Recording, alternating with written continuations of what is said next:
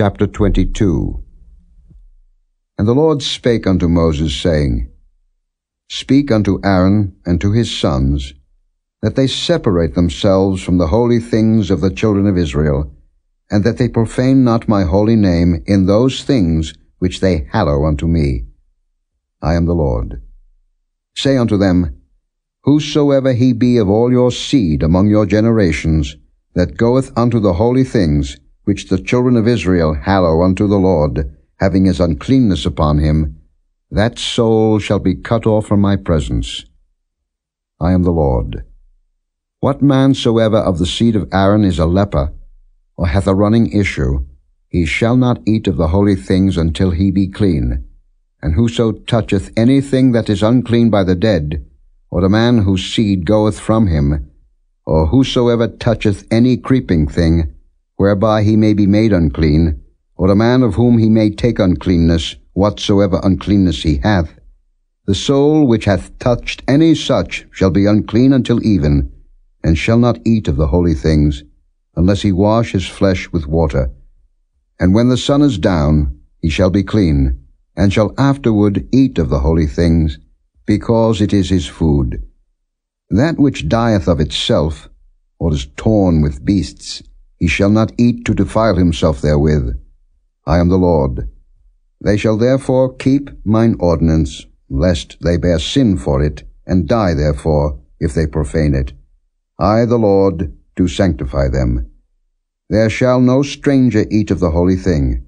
A sojourner of the priest, or an hired servant, shall not eat of the holy thing. But if the priest buy any soul with his money, he shall eat of it, and he that is born in his house, they shall eat of his meat. If the priest's daughter also be married unto a stranger, she may not eat of an offering of the holy things. But if the priest's daughter be a widow, or divorced, and have no child, and is returned unto her father's house as in her youth, she shall eat of her father's meat, but there shall no stranger eat thereof. And if a man eat of the holy thing unwittingly, then he shall put the fifth part thereof unto it, and shall give it unto the priest with the holy thing.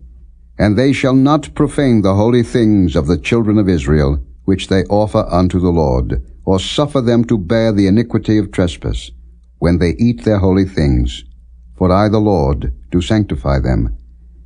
And the Lord spake unto Moses, saying, Speak unto Aaron and to his sons, and unto all the children of Israel, and say unto them, Whatsoever he be of the house of Israel, or of the strangers in Israel, that will offer his oblation for all his vows, and for all his freewill offerings, which they will offer unto the Lord for a burnt offering, ye shall offer at your own will a male without blemish, of the beeves, of the sheep, or of the goats. But whatsoever hath a blemish, that shall ye not offer, for it shall not be acceptable for you. And whosoever offereth a sacrifice of peace offerings unto the Lord to accomplish his vow, or a freewill offering in beeves or sheep, it shall be perfect to be accepted. There shall be no blemish therein.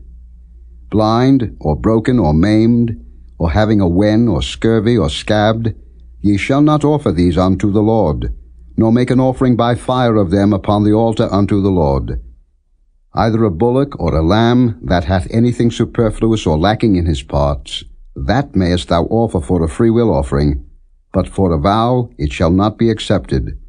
Ye shall not offer unto the Lord that which is bruised, or crushed, or broken, or cut, neither shall ye make any offering thereof in your land.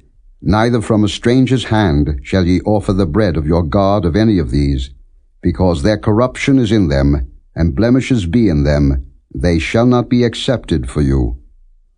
And the Lord spake unto Moses, saying, When a bullock or a sheep or a goat is brought forth, then it shall be seven days under the dam, and from the eighth day and thenceforth it shall be accepted for an offering made by fire unto the Lord.